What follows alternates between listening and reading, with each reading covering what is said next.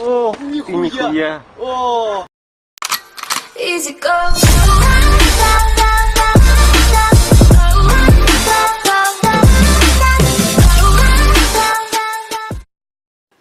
तो गाइज यार give away चल रहा है और जाके आप लोग डिस्क्रिप्शन में दो लिंक होंगे उनमें चेकआउट कर लीजिए डिस्क्रिप्शन में दोनों लिंक में जाके पार्टिसिपेट कर लीजिए और सारे चैनल्स को सब्सक्राइब करना यार बहुत ही ज़्यादा ज़रूरी है hello guys welcome to the brand episode of electro आइजार्ट तो गाइस आ चुके हैं एक और क्लैश ऑफ़ क्लैन की वीडियो में, और आज की इस वाली वीडियो में मैं दो चीज़ बताने वाला हूँ गाइस एक तो एक क्लैन के बारे में बताऊँगा, जिसमें एक ही बंदे ने अपने बहुत सारे टाउन हॉल एट के अकाउंट से पुशिंग किया है, और वो भी बहुत ही तगड़ा पुशिंग किया है। दूसरी चीज़ मैं यहाँ पे एक टाउन हॉल एट की पुशिंग आर्मी के बारे में बताने वाला हूँ, जिससे आप लोग टी एच एट होके टी एच नाइन पे थ्री स्टार निकाल सकते हो।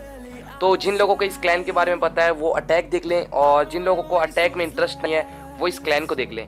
ठीक है? तो चलो गाइज़ यार वीडियो को स्टार्ट करते हैं। तो गाइज़ यार, आप लोग यहाँ पे देख सकते हो क्लैन का नाम है विंटर गैलेक्सी तो काफ़ी सही क्लैन है यार ये, अगर आप लोग देखोगे।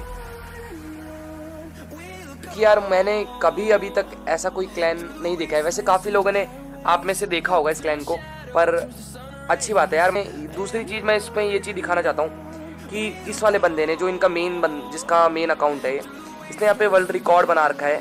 5307 इसका बेस्ट है पुशिंग में। तो मैंने तो नहीं देखा है अभी तक। कोई कोई टी एच एट वाले ने इतनी ट्रॉफी पुशिंग करी हो।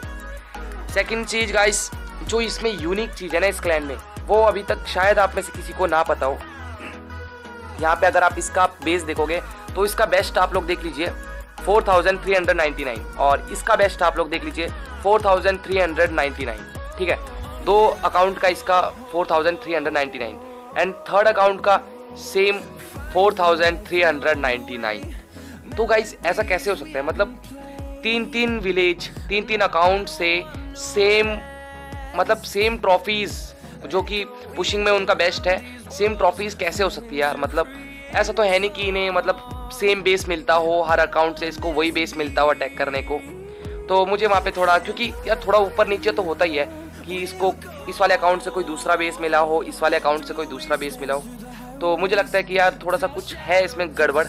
पर अगर आप लोगों को पता है इसके बारे में, जो ये ट्रिक कैसे इसकी ये ट्रिक है तो वो मुझे आप लोग कमेंट सेक्शन में बता सकते हो, क्योंकि आप में से काफ़ी लोगों को पता होगा। मुझे नहीं पता है।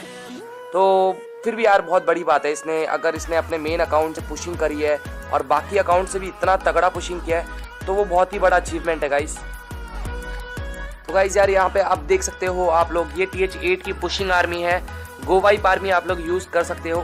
और गो या गो वाइपा ये एक आर्मी है, तीन आर्मी तो आप लोग इनको पुशिंग आर्मी के लिए यूज़ कर सकते हो। क्योंकि टी एच नाइन और टेन पे टाउन हॉल एट की इस वाली आर्मी से टू स्टार निकालना ईजी हो जाता है। मैंने भी ट्राई किया यार अपने टाइम पे।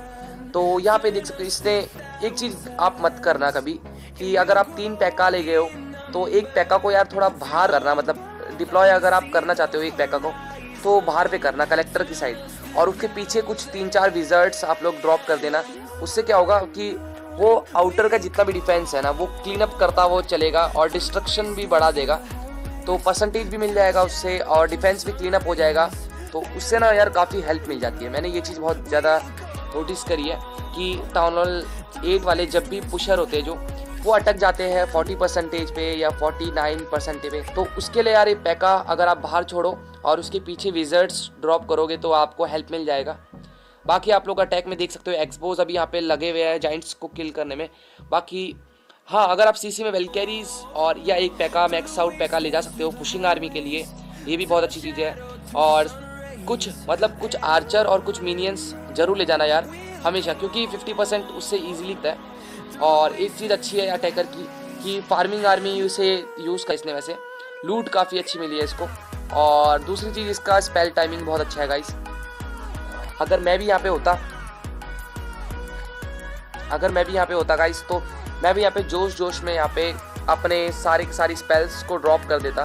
पर लेकिन इसने अभी भी जहाँ तक आप लोग देख सकते हो कि एक्सपोज अभी भी मतलब लगे हुए हैं मतलब उस पर पूरा टेक डाउन कर रहे हैं, यहाँ पे पूरे पर एक जहाँ तक ये आप लोग देख रहे हो कि एक्सपोज अभी भी मतलब हमारे आर्मी को यार काफ़ी ज़्यादा मतलब सारी की सारी आर्मी ख़त्म हो रही है, पर फिर भी मतलब उसने अभी तक रेज स्पेल का यूज़ नहीं किया। ये चीज़ बहुत अच्छी थी इसमें और बहुत ही सही टाइमिंग पे फिक्स टाइमिंग पे उसने यूज़ किया। तो गाइस बस आज वाली वीडियो में बस इतना ही था और पुशिंग आर्मी के बारे में बताना था और वो सेकंड वाला जो क्लैन था विंटर गैलेक्सी उसके बारे में बताना था। अगर आपको वीडियो पसंद आया तो यार एक बार लाइक कर देना। एम करते हैं 350 लाइक्स का। तो कंप्लीट कर देना गाइस और वीडियो को जितना हो सके शेयर कर सकते हो आप लोग। और चैनल पे अगर आप फ़र्स्ट टाइम आ रहे हो तो गाइस चैनल को सब्सक्राइब करना। मैं ऐसी क्लैश ऑफ़ क्लैन की वीडियोस लाता रहता हूँ। तो गाइस मैं मिलूँगा आपको नेक्स्ट वीडियो में गाइस तब तक के लिए बाय बाय